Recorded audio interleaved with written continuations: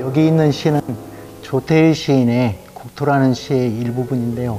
제가 시를 잠깐 읽어드리겠습니다. 발바닥이 닫아라 새살이 돋도록 우리는 우리의 땅을 밟을 수밖에 없는 일이다.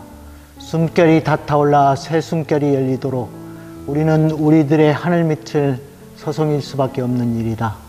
이것은 조태일 시인의 국토의 일부인데요.